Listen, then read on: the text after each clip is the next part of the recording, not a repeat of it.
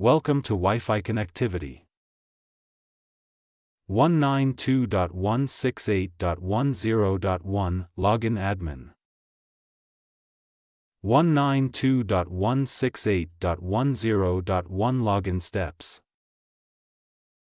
If you have a router that uses the 192.168.10.1 IP address, then follow these simple steps to access your router's admin panel. 1. Check whether the connection is made correctly, check the power, WAN, LAN, and WLAN lights are on. For the power button, the light should remain steady.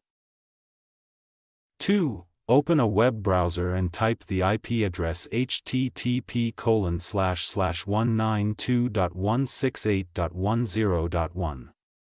An error message may appear, if this happens then 192.168.10.l is not your router's correct IP address. It's time to check for any misspellings. 3. If you have forgotten your username and password, then you can recover them by following these simple instructions. If you have never changed your username and password, we suggest that you take a look at our default router usernames and passwords list.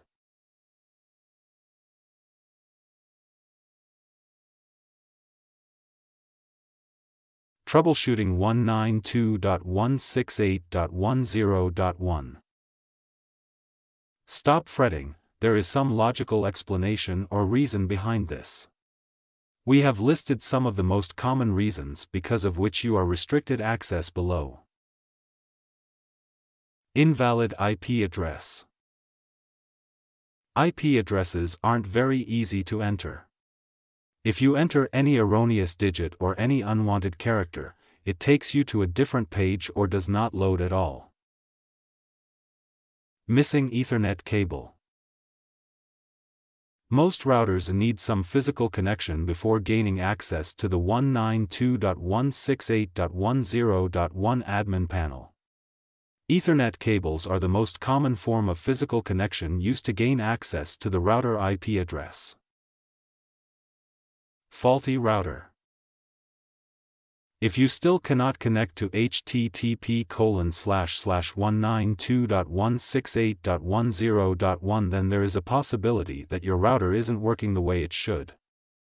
These complex devices may cause complications if any component is not in place.